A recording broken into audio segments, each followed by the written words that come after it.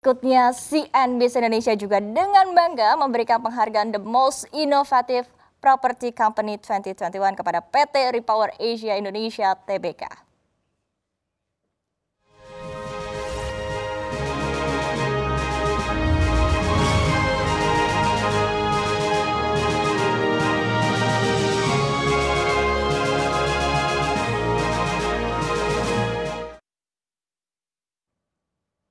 Iya, dan tentunya kami persilakan kembali kepada Bapak Wahyu Daniel, Direktur sekaligus pemimpin redaksi CNBC Indonesia untuk bisa menyerahkan penghargaan The Most Innovative Company 2021 kepada PT Repower Asia Indonesia TBK yang akan diwakilkan oleh Paulia.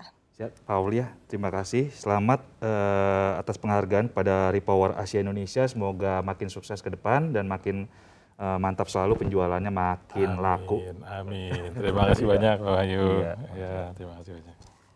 Terima kasih, terima kasih. Oke, kepada Pak Ulia kami persilahkan untuk memberikan acceptance speech-nya, Pak. Ya, bismillahirrahmanirrahim. Alhamdulillah, wassalatu wassalamu ala rasulillah.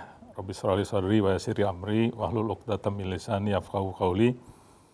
Kami bersyukur kepada Allah Subhanahu wa taala dan juga berterima kasih kepada uh, pihak CNBC atas awardnya sejatinya ini adalah uh, penghargaan tidak untuk kami pribadi tapi untuk semua uh, tim Repower, tim Repower Asia Indonesia TBK. Mudah-mudahan dengan kepercayaan ini kami bisa lebih bermanfaat buat masyarakat, bisa lebih menghasilkan inovasi-inovasi di bidang properti lainnya, dan kami bisa menjadi salah satu uh, leading property company di Indonesia ke depan.